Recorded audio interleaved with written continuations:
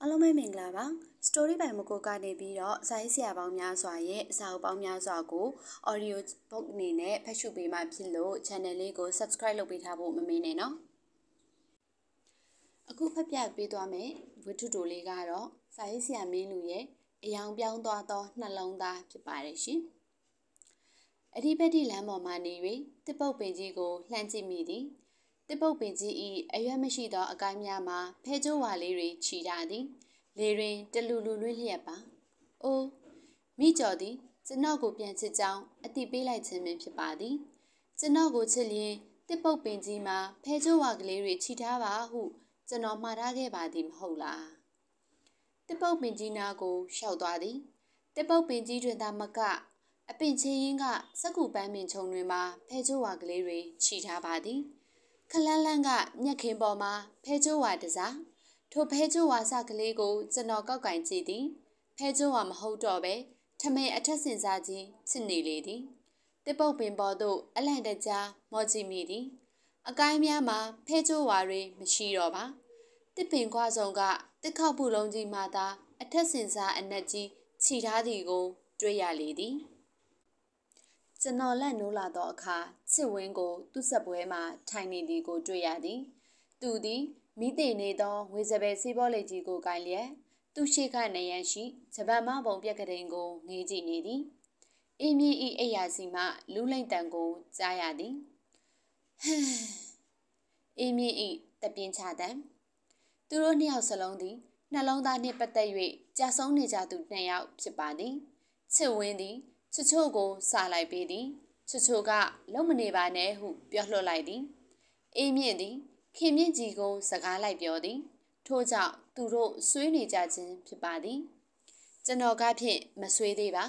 မဆွေးသေးပါဟုဆိုသောကြောင့်မကြမီဆွေးလိမ့်မည်ဟုမယူဆစေလိုပါလွန်ခဲ့သောနှစ်ရက်ကပင်ကျွန်တော်သည်မိကျော်ကိုအောင်မြင်စွာစာပေးခဲ့ပါသည်မိကျော်ចောင်းကအပြန်ဘတ်စကားပေါ်မှာပေးလိုက်ခြင်းဖြစ်ပါသည် ဘတ်စကားပေါ်မှာဖြစ်သောကြောင့်မိကျော်ညင်းလို့မရပါယူသွားရပါသည်ဘလောက်များပိုင်လိုက်လာပါသလဲဟိုနှစ်ကောင်နှင့်တခြားစီပါသူတို့ကိုကျွန်တော်အိမ်မက်အကြောင်းပြောပြပါသည်မင်းအိမ်မက်ကနမေမကောင်းဘူးကွချစ်ဝင်းနှင့်အင်းမြင့်ကဝေဖန်ပါသည်အမှန်တော့သူတို့ပြောသလိုမဟုတ်နိုင်ပါသူတို့သည်ကျွန်တော်စာပေးဖြစ်သည်ကိုမနာလိုဖြစ်နေကြခြင်းပါတခိုးသေးပေါ်ညိအမိပြတ်သောမြေခွေးလိုဖြစ်ပါသည် ကျွန်တော်သည်မိကျော်ကိုပေးလိုက်သောစာထဲမှာရေးသားထားသည်ကလည်းသိမိလိုက်လာပါသည်ကြည်ပါလေနှင်းစီပန်းကလေးတွေဖြားတဲ့အခါ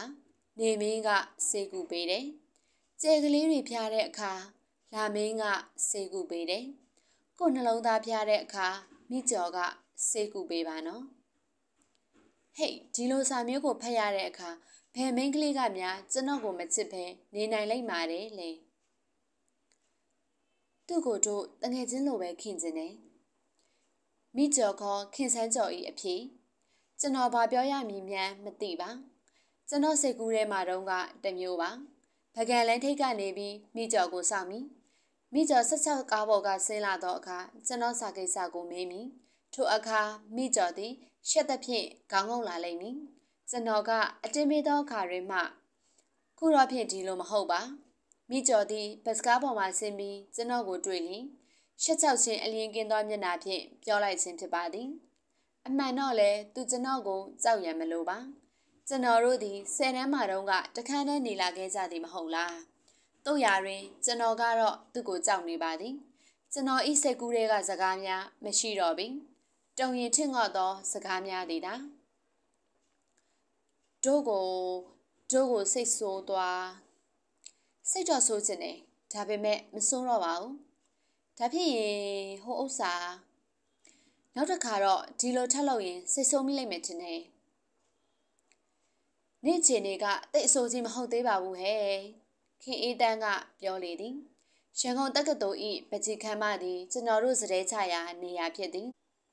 အတန်းမရှိသောအချိန်အတန်းပြီးသောအချိန်သို့မဟုတ်အတန်းလင့်နေသောအချိန်များတွင်ကျွန်တော်တို့သည်ပကြီးခမ်းမမှာထိုင်ကြသည်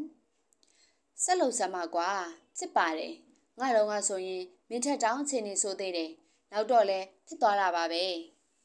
ဘာဘာကြော်သည်ကျွန်တော်ကိုအားပေးသလိုလိုနှင့်ကြွားပြန်သည်ကြွားလဲကြွားစီရပါအခုဆိုရင်သူ့ကောင်မလေးသည်သူ့ကိုထမင်းဘူးတွေကထမင်းကိုလည်းကျွေးသည်ပတ်စံကိုလည်းချီသည်မှတ်ချက်ဘယ်တော့မှပြန်မဆက်ပါကျွန်တော်တို့ပင်လင်းသူ့ထမင်းဘူးကိုကတ်စားရသေးသည်သူ့ကောင်မလေးချီလာသောပတ်စံဖြင့်လက်ဖက်ရည်ကတ်တော့သည်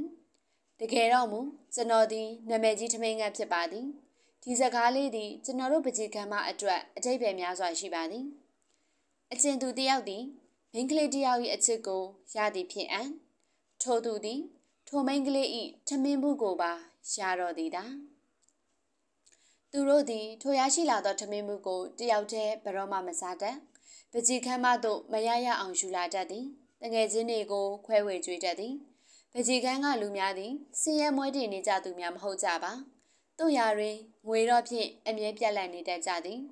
ထို့ကြောင့်မင်းတယောက်ယောက်ကမိန်းကလေးတယောက်ကိုလိုက်တော်မီဆိုရင်အာရဝမ်းသာကူညီတတ်သည်ပကြီးခန်းအတွက်ထမင်းဘူးတပူပတ်စံချင်းမိမိန်းကလေးတယောက်တိုးလာမည်ဖြစ်သောကြောင့်ဖြစ်ပါသည်ခုအချိန်မှဖြင့်ကျွန်တော်သည်နာမည်ကြီးထမင်းငတ်ဖြစ်ပါသည်ကျွန်တော်သည်မိကျော်ဤထမင်းဘူးထဲတွင်ထမင်းတစုံကိုမျှမစားဘူးသေးပါမဟုတ်လား တို့ရာတွင်စိတ်တက်ဖြင့်မကြလိုက်ပါမိကျော်ဘာလဲတို့တို့ပြောစရာတခုရှိလို့ရိုးရိုးသားသားတငယ်ချင်းလို့ပြောမှဆိုရင်တော့ပြောပါဒါမှမဟုတ်ဆက်ဆက်ပြပြဆိုရင်တော့နားမထောင်ချင်ပါဘူးအဲအေးလေတငယ်ချင်းလို့ပဲပြောပါမယ်ပြောလေဘာလဲဟိုဟိုဥစ္စာထမင်းမှုပါလာလားဒီမှာလေတွေ့ဘူးလားဘာဟင်းလဲ ငဲဆောက်ဟင်းနဲ့ပဲတိကြောအော်ဟုတ်လားဒါဖြင့်သွားတော့မယ်နော်တိတ်ညံ့တဲ့ကောင်ကွာမိကျော်မပြောနဲ့ဆိုပေမဲ့အတင်းမရမကပြောဝေါကွာဟာငါကြောက်တယ်ကွာမိကျော်ကတိတ်ဆိတ်ကြီးတာနော်အပြက်ကောလိုက်ရင်ဒုက္ခညံ့ပါပဲကွာမင်းနာမည်ကိုညံကိုကိုလို့မှဲ့ဖို့မကောင်းညံ့ကိုကိုလို့မှဲ့ဖို့ကောင်းတယ်အမေမင်းတို့ကတော့အဖြစ်ရှိလို့လားလုံးမနေပါနဲ့လို့အပြောခံရတဲ့ကောင်နဲ့ဖဏပဲရမယ်ဆိုတဲ့ကောင်တွေကများ ဟာငါတို့ကဒီလိုပြောခံရပေမဲ့ဆက်လက်စူးစမ်းလျက်ပါပဲဒီနေ့ကျတော့မင်းတွေ့ရမှာပေါ့ကွာမိကျော်ဘာလဲတို့ပြောကြတခုရှိလို့တငယ်ချင်းလို့ပြောမှလားမဟုတ်ဘူးတပည့်မပြောနဲ့တော့ပြောရမယ်မိကျော်ပြောရမယ်တို့ရင်ထဲမှာဒီမညံကိုကိုတို့နောက်တစ်ခါဒီလိုစကားမျိုးလုံးဝထမပြောပါနဲ့ပြောခဲ့လို့ရှိရင်တော့တငယ်ချင်းချစ်ကပါရက်လိုက်မယ်ဒါပါပဲ လက်တမစ်အပြအစ်စ်မှာထက်ပကယ်ရီနီသွားစေသည်လက်တမတ်အနီးဘေးစီမှာထက်ပကယ်ရီပြသွားစေသည်ပန်းနုရောင်နှလုံးသားဘာကုံများမြောက်လို့အစိမ်းရောင်ပြောင်းသွားတာလဲကွာကျွန်တော်ဤအဆွေးကပြများသည်ပကြီးခမ်းမဤနေရန်ကတ်စာဆောင်တွင် ပါဝင်လာခဲ့သည်ဓာတုဗေဒကျောင်းသူလေးမိကျော်ကိုရည်ရွယ်ဆက်ထားသောဓာတုဗေဒဆိုင်ရာကပြများကျွန်တော်ဆွေးနေကြောင်းကိုပကြီးခမ်းတစ်ခန်းလုံးကသိကြပါသည်။ အိုးသူတို့နေမဟုတ်ပါ။ကိုအောင်ရင်လက်ဖေးဆိုင်ကတင်ဝင်းတို့ဖြူဝင်းတို့လည်းသိသည်။အေးဆိုင်ကအမေကြီးလည်းသိပါသည်။ထို့အတော်အတွင်းမှာပဲချစ်ဝင်းနှင့်အေးမြင့်တို့၏အချစ်ကိစ္စများပြေလည်သွားကြပါသည်။ချစ်ဝင်းသည်သူ့ကိုယ်မှပြတ်မချစ်ရင်ကြောက်မတတ်တော့ဘူး။အင်းရကန်တဲ့ခုံချက်မည်ဟုဆိုသောကြောင့်တနာပြီးချစ်သွားသည်ဟုဆို၏။အေးမြင့်ကမူသူ့ကရုံးဆရောက်စပင်ကိုနည်းနည်းပူရှေပေးပါမည်ဟုသောကတိဖြင့် ခင်ကြည်မြင့်၏အချက်ကိုရသွားပါသည်သူတို့သည်အဝတ်အစားအသစ်များချုပ်ကြပါသည်တနေ့လင်းရေသုံးကလောက်ချိုးပါသည်ချစ်ဝင်းဆိုလင်ပေါင်နာဘူးတပူပင်ဝယ်လိုက်ပါသည်သူတို့၏အကြောင်းများကိုကျွန်တော်အားပြန်ပြောကြပါသည်ခင်ကြည်မြင့်လက်ကလေးကနုနုလေးကွဟမ်မင်းအခုမှလက်ကင်နေဆင်လားကွဟေ့ကောင်လက်မကင်လို့ခြေထောက်ကိုကင်ရမှာလားအော်အေးမြင့်အေးမြင့် စပင်တို့တလောက်သုံးလာသေးပါလားကွာနှက်ခမ်းကဘာလို့ဖို့ထားတာထမင်းစားဖို့ပေါ့ကွာအော်သူတို့မှဖြင့်ပြောင်းနိုင်ကြပါပေသည်ကျွန်တော်မှတော့ဖြင့်ချစ်ဝင်းနဲ့အေးမြင့်သည်ကျွန်တော်ကိုအားမရကြပါညံကြီးဆက်လုပ်ပါကွာမင်းကလည်းပြော့ညက်လိုက်တာတော်ပါပြီကွာငါဖြစ်နေငါရှိပါစေတော့တို့ရာတွင်ကျွန်တော်သည်စာတစောင်ကိုရေးလေသည်မိကျော် နောက်ဆုံးအချိန်နှောက်ယှက်တယ်လို့သဘောထားလိုက်ပါတော့ဒီတစ်ခါမှဒုလိုချင်တဲ့အဖြေကိုမရရင်နောက်ကိုဘတော်မှမနှောက်ယှက်တော့ပါမိကျော်ပြောခဲ့သလိုတငယ်ချင်းအဖြစ်ကပါရာသက်ပံရက်ဆဲခြင်းရက်ဆဲလိုက်ပါတကောင်းထက်တော့ညင်မနှံ့နိုင်တော့ပါ။နှစ်ပြန်မိကျော်တို့အတန်းပြီးချိန်မှာဒိုလာဆောင်နေမယ်။ဒိုကိုချစ်တယ်ဆိုရင်အင်းကြီးအဖြူရောင်ဝတ်ခဲ့ပါ။အဖြူရောင်ကိုကြိုဆိုနေပါမယ်။ညံမှတ်ချက် မိကျော်မကြိုက်ဘူးဆိုလို့တို့ဆက်လိပ်ဖြတ်လိုက်ပါပြီ။အခန်းအမှတ်ရှိကဇင်းကြံအုပ်ခုံပေါ်မှာထိုင်ဆောင်နေသည်။ S17 သည်ဝင်ပေါက်တစ်ခုတည်းသာရှိသောတိရိတာခေါ်အခန်းကြီးဖြစ်သည်တပေါက်ထဲသောဝင်ပေါက်ကိုပတ်ထားသဖြင့်အထဲကိုမမြင်ရဆရာဤစတင်တန်သာထွက်လာသည်စက္ကန့်တို့သည်ပြေးလွှားနေကြသည်တနာရီခွဲအတန်းပြီးတဲ့မှာပြီဆရာသည်တင်လို့ကောင်းတော့ အကိုဒူရတော့မလားစီဂရက်တဲ့ကလားကလေးရောက်လာသည်ဝယ်မီပြုတ်ပြီးမှမိကျော်ကိုဂရိပေးထားတာတရိယာတစ်ဖြင့်မဝယ်ဖြစ်တော့ကလားကလေးသည်အင်ကြီးအဖြူဝတ်ထား၏မင်းဘာဖြစ်လို့အင်ကြီးအဖြူဝတ်ထားရလဲကျွန်တော်ကဒီတစ်ထည်ပဲရှိတာဒါပဲဝတ်ရမှာပေါ့ဗျတနာရီမိနစ်40တကားပွင့်လာသည်ဆရာထွက်လာသည်ဆရာသည်တိုက်ပုံအင်ကြီးအနက်ကိုဝတ်ထားသည် အထဲကရှက်အင်ကြီးမှာအဖြူအခန်းထဲမှចောင်းသားចောင်းသူများထွက်လာကြသည်ကျွန်တော်မကြည့်ရတဲ့ဖြင့်ခေါင်းငုပ်ထားရသည်ကျွန်တော်ရှိကလူတွေဖြတ်သွားကြသည်ခြေတံများနှင့်ကျွန်တော်ရင်ခုန်တန်သည်အတူတူနှလမတောင်မြင့်ဖက်နှက်အနီကလေးကိုစီးထားသည်မှာမိကျော်ဤခြေထောက်ကလေးမျက်စိကိုအပေါ်သို့တဖြည်းဖြည်းတက်ကြည့်သည်ထမိန်အနီရောင်အင်ကြီးကိုကြည့်သည်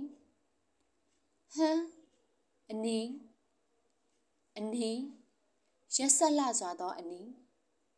ငွေသွင်းဌာနကိုဘယ်လိုဖြတ်ခဲ့သနည်းတစ်ပုတ်ပင်ကြီးကိုဘယ်လိုကွေ့ဆောင်ခဲ့သနည်းဝိစာခမ်းမကိုဘယ်လိုဖြတ်ခဲ့သနည်းပကြီးခမ်းမကိုဘယ်လိုရောက်ခဲ့သနည်းစောင့်နေကြသူများကမေးသည်ဘယ်လိုလဲဟိအနီတဲ့ကွာစနော်သည်စပွဲပေါ်မှာမျက်နှာအထားလိုက်သည်ဘယ်လိုဖြစ်တာလဲဆိုတာပြောပါအောင်ဟဲ့ ရှင်ရင်ထွေးအတန်ကိုကြားရသည်ကျွန်တော်ကောင်းခါလိုက်သည်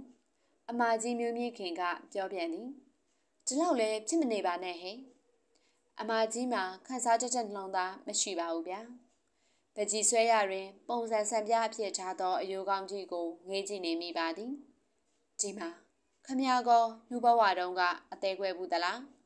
ကျုပ်လဲတနေ့နေ့ခမရလိုပဲဖြစ်မှာပဲ အဲ့ဒီအခါကျရင်ဟေးဟိုမှာကြည့်စမ်းစစ်ဝင်းဤအလန့်တကြားအော်တန်ကြောင့်ခေါင်းထောင်ကြည့်မိသည်ချင်ဝင်းညွန်ပြရမှာအိုးအဖြူရောင်ဆစ်လာစွာသောအဖြူရောင်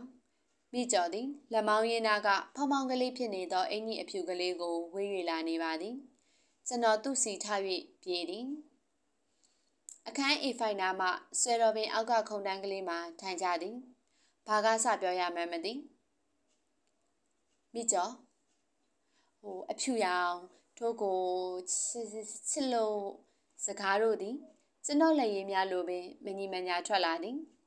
မိကျော်ရှက်လို့ခေါင်းငုံသွားသည်ခုနတော့ကလေအင်ကြီးအနီဘာဖြစ်လို့ဝတ်ထားလဲအင်္ဂါထွက်လာတော့ကနည်းနည်းချမ်းသာနဲ့အပေါ်ကထပ်ဝတ်လာတာဒိုးနဲ့တွေ့တဲ့အချိန်မှာတော့အင်ကြီးအနေကြီးကိုချွတ်ထားဖို့ကောင်းပါတယ်ဟာတို့လေဒိုဒိုရှက်လို့ ဘာဆက်ပြောရမှန်းမသိတတ်ပြန်ချွေးပြန်လာသည်ချွေးတုံမီဟုလွယ်အိတ်ထဲကလက်ကင်ပွားကိုထုတ်သည်ဟောဘယ်အချိန်ကလက်ကင်မွားကြားတဲ့ညမှန်မသိရတော့ခပောင်းစီဂရက်တလိတ်သည်လက်ကင်မွားနှင့်အတူခုန်ထွက်လာပြီးကျွန်တော်ပေါင်မော်လာတဲ့သည်မိကျော်ကမိသွားပါသည်ဟမ်တတတဒါပါလေခပောင်းဒါတော့သိတာပေါ့ဒါဘယ်သူတောက်တာလဲတင်းတင်းတင်းတင်းဝင်းတောက်တာ အဲမဟုတ်ပါဘူးနနတောက်တာနနခပောင်းဘယ်တော့မှမတောက်ဘူးဒူရမတောက်တာတို့သိတယ်ဟမ်ဆလစ်ဖြတ်ပြီလေးပါလေးနဲ့တို့တသက်ညာတာပေါ့လေမမဟုတ်ရပါဘူးဟာနောက်ကိုတကယ်မတောက်တော့ပါဘူးကျွန်တော်ဒီအယောင်ယောင်အမားမဖြစ်ပြီးစစ်ကရက်ကိုလွှတ်ပြရန်နောက်သို့လှည့်ကြည့်မိသည်စင်းချံအခွန်အောက်သို့ခေါင်းနှလုံးရိတ်ခနဲ့ဝင်ပုံးလိုက်တီကိုတွေ့ရသည်မောင်ဆန်ချိုင်းနှင့်ကင်းကောင်ကြီးတို့လာချောင်းနေကြကြောင်းကျွန်တော်သိလိုက်ပါသည် သူတို့ကိုကြွားလိုက်ရအောင်မည်မိကျော်ဤထမင်းမှုထဲတွင်ထမင်းကိုအာရပါရစားပြလိုက်မည်ဒီနှကောင်တရေရိုကြသွားအောင်လို့မိကျော်သည်မိကျော်ဤထမင်းဘူးကိုဖွင့်လိုက်သည်အထဲမှာထမင်းတဝက်လောက်သာကျန်တော့သည်ဟင်းလုံးဝမရှိမိကျော်ကခစ်ခနဲရည်သည်လက်ပြန်ကြရင်တို့ထမင်းပို့ထဲခဲ့မယ်မြည်တော့ပင်ဖြစ်ပါစေထိုနေ့မှစ၍ပကြီးခမ်းမအတွက်ထမင်းမှုတပူတိုးလာခြင်းသည် ဝမ်းမြောက်ဖွယ်သတင်းပင်ဖြစ်ပါသည်